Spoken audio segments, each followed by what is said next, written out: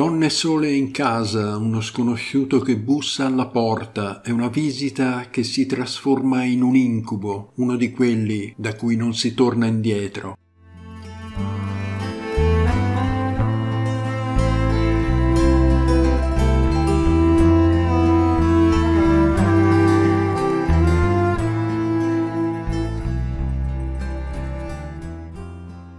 Oggi vi racconto la storia di Diane Holick, una donna di 43 anni con una carriera di successo grazie a un posto da dirigente in una grande multinazionale.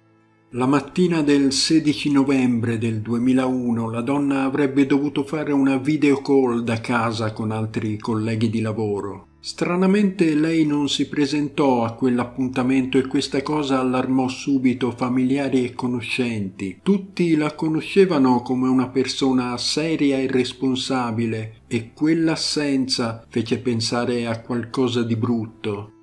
Nessuno però poteva immaginare quello che avrebbero scoperto di lì a poco. I parenti chiesero alla polizia di andare a controllare l'abitazione di Diane e quando gli agenti entrarono in casa fecero una scoperta terribile.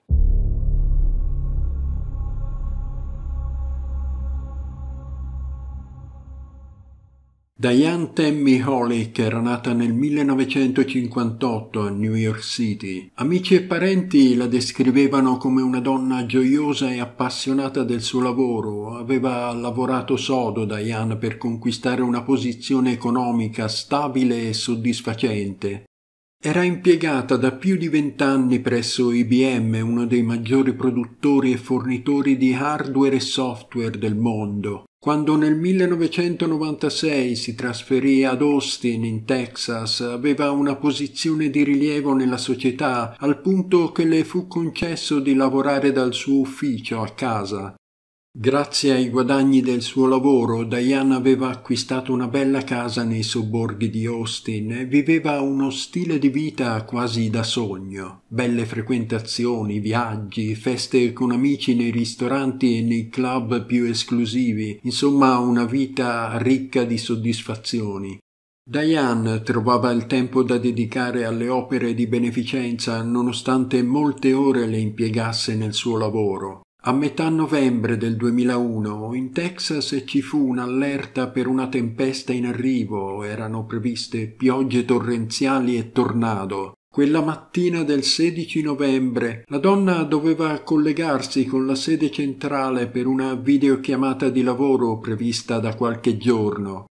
Diane però a quell'appuntamento non si presentò mai. Amici e parenti provarono a chiamarla sul suo cellulare sul telefono fisso, ma lei non rispose. Le furono inviati anche diversi messaggi con la richiesta di richiamare, ma nessuno di quegli sms ricevette una risposta. Era tutto molto strano, tanto da far pensare a qualcosa di brutto. Una macchina della polizia fu inviata a controllare che fosse tutto a posto. Gli agenti riuscirono a entrare in casa grazie a una vicina che dette loro una chiave di riserva. Quando i poliziotti aprirono la porta sentirono un gran silenzio rotto solo dall'abbaiare dei cani che uscivano dalla cucina, quasi come se cercassero aiuto.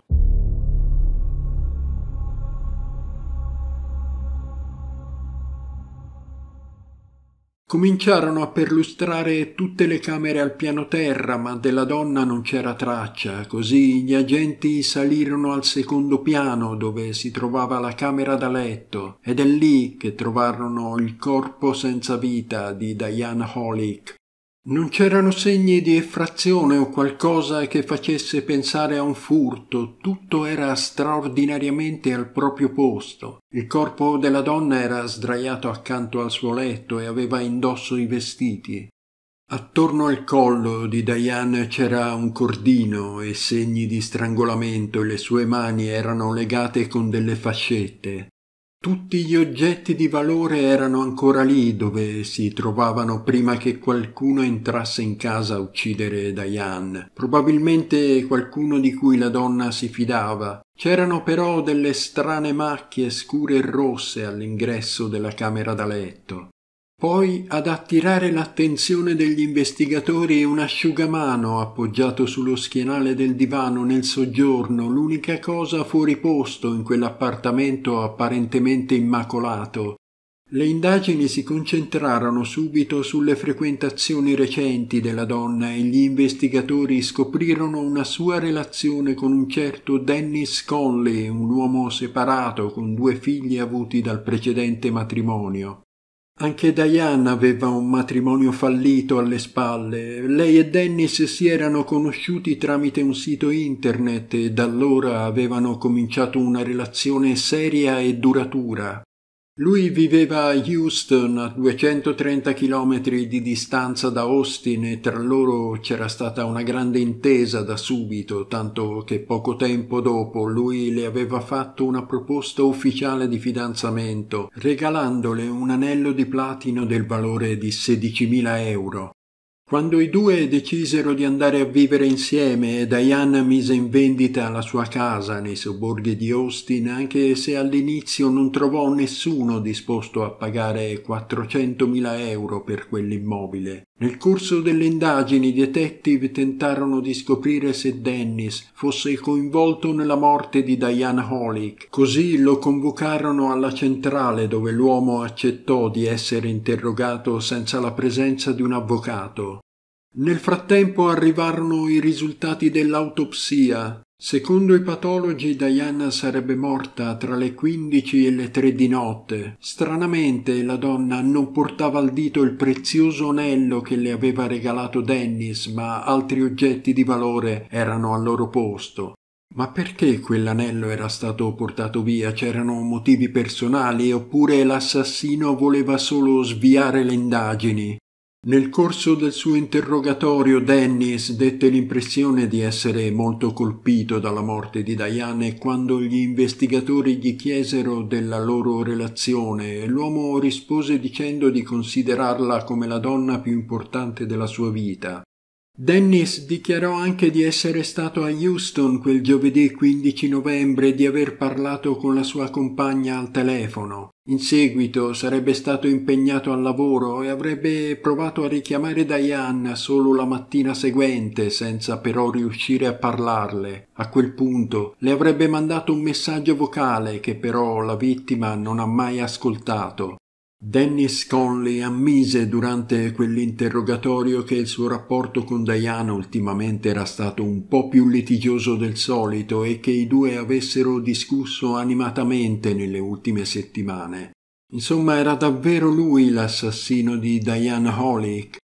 Alla fine della sua visita alla centrale di polizia, gli agenti presero le sue impronte e un campione di DNA. Gli investigatori pensavano che l'uomo avesse avuto il tempo di andare da Houston a Austin e incontrare la donna.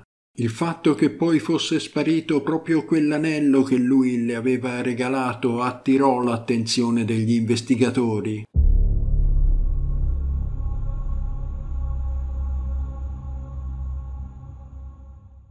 Le verifiche fatte in seguito però esclusero che Dennis Conley avesse mai lasciato la sua città di residenza, quindi ora per la polizia si trattava di cercare un'altra pista e un indizio lo fornì proprio il fidanzato di Diane. Dennis informò gli agenti di un collega della vittima che recentemente aveva visitato più volte la casa della donna e portato i suoi cani a fare una passeggiata. Quest'uomo si chiamava Rai, ma anche lui aveva un alibi di ferro per il giorno dell'omicidio. Parlando con i colleghi di Diane, i detective scoprirono che alcuni giorni prima della morte qualcuno aveva fatto visita alla donna. Un uomo aveva risposto all'annuncio della casa in vendita e si era dimostrato interessato all'acquisto. Questa persona disse a Diane di essere intenzionato a vendere il suo ranch se l'immobile gli fosse piaciuto e che sarebbe ritornato qualche giorno dopo con sua moglie per avere anche il suo parere. Quella per la polizia era decisamente una pista interessante, così gli investigatori si misero alla ricerca di quel misterioso compratore con la speranza che qualcuno lo avesse visto quel giorno. cominciarono a sentire tutti i proprietari con un immobile in vendita nelle vicinanze della casa di Diane Holick. La polizia credeva che quell'uomo fosse andato a vedere anche altre case oltre a quella della vittima. Alla fine trovarono sette donne e tutte raccontarono la stessa storia. Lo stesso giorno della morte di Diane, un uomo tra i 35 e i 45 anni con un grosso naso e i capelli neri era andato a visitare le loro case senza la presenza di un agente immobiliare. Sei donne non lo avevano fatto entrare e solo una di loro gli aveva permesso di vedere la casa. La proprietaria raccontò agli investigatori che quell'uomo si era comportato in modo strano durante la visita, non aveva aperto nessuna porta e sembrava essere interessato solo alla camera da letto al piano di sopra. La donna sentì che qualcosa non andava in quella persona, così gli chiese di lasciare subito la casa. L'uomo si era presentato alla titolare come Walter Miller e questo permise alla polizia di avviare una ricerca nei database mentre un artista forense disegnò un identikit dello sconosciuto in base alla descrizione che ne aveva fatto la proprietaria dell'immobile in vendita. Vennero fuori due Walter Miller a Austin, ma nessuno dei due corrispondeva all'età e ai lineamenti del sospettato. I detective stavano cercando di capire il movente di quel delitto. Perché l'assassino aveva portato via il prezioso anello al dito della vittima, trascurando gli altri gioielli di valore presenti in casa, in fondo Diane viveva da sola da tanto tempo, nessuno poteva sapere quali e quanti oggetti preziosi ci fossero in quell'abitazione. L'autopsia non aveva evidenziato segni di violenza sessuale sul corpo di Diane. E la donna fu ritrovata completamente vestita, gli investigatori a questo punto decisero di tornare nella casa dell'omicidio a cercare qualche indizio che gli fosse sfuggito durante i primi sopralluoghi. Speravano di trovare qualche traccia corporea dell'assassino, ma le ricerche non portarono nessuna novità di rilievo. Intanto l'identikit fatto dalla polizia fu inviato a giornali e televisioni sperando che qualcuno potesse riconoscere quel misterioso uomo. Gli investigatori avevano un indizio interessante, un capello corto era stato trovato su un asciugamano nell'appartamento di Diana Holick. Sfortunatamente quel capello non aveva una radice, cosa che impedì alla scientifica di rilevarne il DNA.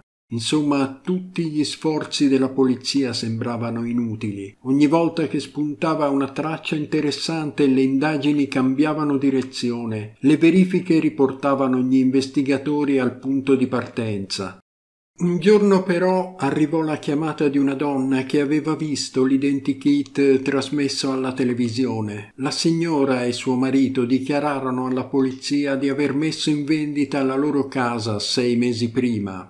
Un pomeriggio un uomo si era presentato da loro dicendo di voler comprarla e di voler fare un'offerta in contanti. Come avevano fatto altre donne titolari di casa in precedenza, anche la signora non lasciò che quell'uomo entrasse in casa. Lui andò via, ma si ripresentò due mesi dopo, quando il marito della donna era andato al lavoro e lei si trovava da sola in casa con la figlia più piccola. Lo sconosciuto disse di chiamarsi Jim Taylor e chiese di poter vedere la casa, ma lei si rifiutò di farlo entrare, provocando stavolta la rabbia dell'uomo che cominciò a diventare insistente e a urlare. Per farlo andare via la donna fu costretta a chiamare la polizia. Quando arrivarono gli agenti, la signora terrorizzata consegnò loro un pezzo di carta dove aveva annotato il nome e il numero di targa della macchina di quello sconosciuto. Insomma, ora gli investigatori potevano ricercare nei loro database la vettura di quella persona. Riuscirono a risalire al nome del proprietario, non si trattava di Jim Taylor ma di un certo Patrick Anthony Russo. A prima vista sembrava improbabile che l'uomo fosse coinvolto nella morte di Diana Holick. Russo infatti viveva a 40 minuti da Austin, era sposato con due figli e faceva parte di un gruppo che suonava musica religiosa nelle chiese, insomma non esattamente il profilo di un potenziale assassino. Quando però i detective cominciarono a scavare nel suo passato, scoprirono qualcosa che gli fece capire di essere sulla strada giusta. Russo aveva alle spalle una serie di denunce per numerose aggressioni ai danni di altrettante donne e aveva già scontato diversi anni di carcere, una delle sue vittime era stata legata con delle fascette prima che lui iniziasse a strangolarla per poi fermarsi prima di ucciderla. Per quell'aggressione comunque l'uomo fu condannato a 20 anni di carcere. In quegli anni di carcere conobbe la sua futura moglie Janet, Nonostante il suo passato criminale, l'uomo cominciò a fare volontariato per la Chiesa dopo aver scontato otto dei venti anni di carcere previsti. Gli investigatori erano sempre più convinti di trovarsi di fronte all'assassino di Diane Holick e si presentarono a casa sua con un mandato di perquisizione. Patrick Russo non fu affatto sorpreso dalla visita della polizia e si dimostrò collaborativo, anche se in casa sua non fu trovato nulla di rilevante, insomma niente anello della vittima o altri oggetti preziosi. Fu ispezionato anche il suo minivan senza però trovare tracce utili. Una spinta nella giusta direzione arrivò dalla testimonianza di un vicino della vittima che disse di aver visto la macchina di Patrick Russo parcheggiata nei pressi della casa di Diane il giorno dell'omicidio.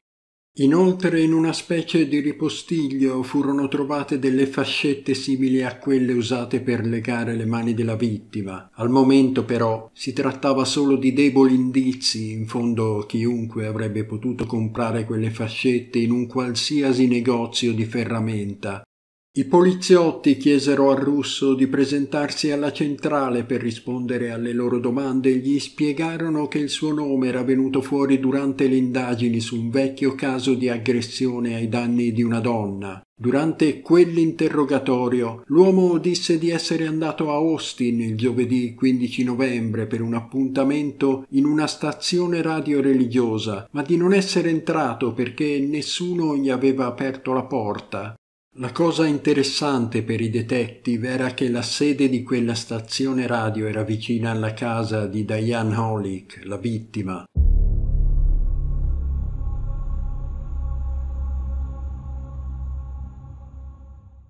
Russo raccontò di essere tornato alla sua abitazione verso le 18, due ore dopo il previsto, a causa di un uragano che aveva colpito la città proprio quel giorno. Secondo i risultati dell'autopsia la donna sarebbe morta tra le quindici e le tre di notte. Quando la polizia chiese a Russo se stesse cercando una casa da acquistare, lui rispose di no e questo è un particolare che risulterà fondamentale per le indagini. Gli investigatori a un certo punto mostrarono al sospettato una foto della vittima e lui rispose senza scomporsi di non conoscere quella donna. Insomma, al momento la prova che Patrick Russo fosse il responsabile di quel delitto non c'era e la polizia fu costretta a lasciarlo andare, anche se in libertà vigilata, il giorno dopo i detective andarono alla sede della stazione radio di cui aveva parlato il sospettato e scoprirono che la storia della porta chiusa non era vera. I responsabili dissero alla polizia che quel giorno le porte erano rimaste sempre aperte proprio a causa del via vai continuo di persone in previsione dell'arrivo dell'uragano da questo punto in avanti tutte le attenzioni dei detective si concentrarono su Patrick Russo. Le testimonianze raccolte fino a quel momento erano tante, ma la più importante stava per arrivare. Una donna contattò gli inquirenti dicendo di aver messo in vendita la propria abitazione e di aver avuto a che fare con l'uomo che corrispondeva alla descrizione fatta dalla polizia. La giovane si trovava a casa da sola con suo figlio piccolo quando un uomo bussò alla porta. Quando lei aprì si trovò davanti uno sconosciuto con in mano un opuscolo contenente un elenco di case in vendita e tra queste c'era anche quella della donna.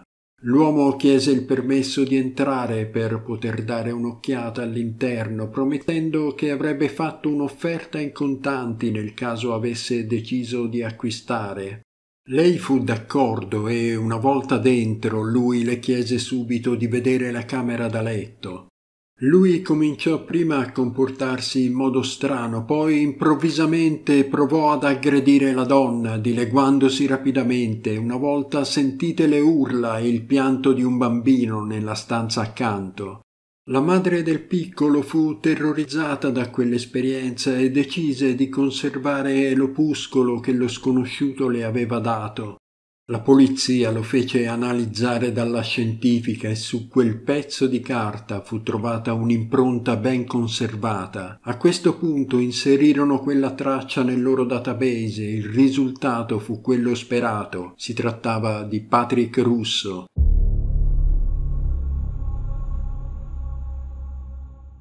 Insomma, l'uomo aveva mentito sul fatto che non fosse andato a vedere quelle case, anche se è molto probabile che non avesse nessuna intenzione di comprarne davvero una. Quella menzogna agli investigatori però voleva dire aver commesso un reato minore, ma non lo rendeva imputabile per l'omicidio della povera Diane Holick. Russo fu comunque arrestato per aver violato le restrizioni della libertà vigilata. I poliziotti temevano che il sospettato potesse fuggire mentre loro cercavano le prove del suo coinvolgimento nell'omicidio della donna, per cui preferirono tenerlo dietro le sbarre. Vennero convocate quindici donne che avevano ricevuto la visita di Patrick Russo a domicilio e a tutte fu mostrato il sospettato attraverso un vetro insieme ad altri quattro uomini. Vestiti uguali e con sembianze simili, in quell'occasione ad ognuno di essi fu chiesto di ripetere ad alta voce la frase Hai una bellissima casa. Dieci di quelle quindici donne identificarono Patrick Anthony Russo come l'uomo che aveva bussato alla loro porta. Le altre non furono in grado di identificare nessuno dei cinque uomini. A questo punto i detective misero sotto pressione Russo, ma lui continuò a proclamare la sua innocenza. Poi ad un certo punto smise di rispondere alle loro domande e chiese di vedere sua moglie. Ricordate il capello trovato sull'asciugamano in casa di Diane Holick? La scientifica lo confrontò con il DNA di Patrick Russo e coincideva. Anche questo però non era sufficiente a incastrare il presunto assassino, c'erano molti indizi però, compreso il traffico dati del suo cellulare, che collocavano l'uomo nelle vicinanze dell'abitazione di Diane il giorno dell'omicidio Dall'analisi del suo PC di casa venne fuori che Russo era un abituale frequentatore di siti porno su internet. Non solo, leggeva e si informava su pratiche sessuali estreme come lo strangolamento durante un rapporto intimo. Due giorni prima dell'omicidio il trentasettenne padre di due figli aveva letto una storia macabra su un sito web. In quel racconto un uomo andava a far visita a una donna con la scusa di acquistare la sua casa, la strangolava e poi portava via gli oggetti di valore per simulare una rapina. Quello avrebbe dovuto nascondere l'insopprimibile desiderio dell'uomo di strangolare una donna che era il vero movente di quella visita. Insomma, il cerchio si stava stringendo attorno al sospettato. La situazione finanziaria di Patrick Russo fu passata al setaccio, emerse che sua moglie aveva circa duemila dollari in banca e lui non poteva permettersi di comprare una casa. I detective scoprirono anche che la coppia non aveva ancora finito di pagare il mutuo dell'immobile in cui vivevano. Insomma, anche se non avevano prove dirette che Russo fosse l'assassino di Diane, gli investigatori lo arrestarono il 5 febbraio del 2004, più di due anni dopo la morte della vittima. Al processo quattordici donne testimoniarono dichiarando di riconoscere in lui l'uomo che aveva bussato alle loro porte con la scusa di comprare la casa. Insomma, secondo l'accusa, Patrick Russo cercava donne giovani alla ricerca di soddisfare le sue bizzarre fantasie sessuali e i suoi propositi omicidi. E per fare questo dedicava molto tempo a spiarle a loro insaputa, una delle colleghe di Diane testimoniò al processo di aver saputo dalla donna dell'imminente visita di un potenziale compratore presso la casa della vittima. Anche in questo caso l'assassino aveva spiato la donna per un po' di tempo prima di mettere in atto il suo piano criminale. Sapeva che viveva da sola e pensava di andare da lei, ucciderla e andarsene senza lasciare tracce dietro di sé. In quell'occasione Russo arrivò all'appuntamento mentre fuori pioveva a dirotto, così Diane gentilmente gli dette un asciugamano per i capelli e le mani, lo stesso asciugamano che la polizia avrebbe ritrovato in seguito appoggiato sul sofà del soggiorno.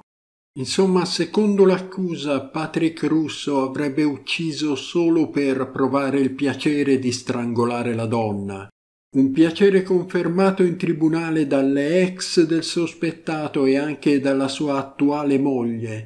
Secondo le loro testimonianze, infatti, durante l'atto sessuale all'uomo piaceva metterle le mani attorno al collo e stringere con violenza, una cosa per cui Russo era già stato condannato qualche anno prima. Alla fine, dopo undici ore di Camera di Consiglio, la giuria ha ritenuto Patrick Anthony Russo colpevole e lo ha condannato all'ergastolo. Lui ha sempre dichiarato di essere innocente. Russo quindi potrà chiedere la libertà condizionata non prima del 2044, quando avrà esattamente 80 anni. Spero che il caso vi sia piaciuto, fatemi sapere la vostra opinione nei commenti, mettete mi piace e iscrivetevi al canale se non lo avete fatto. Alla prossima!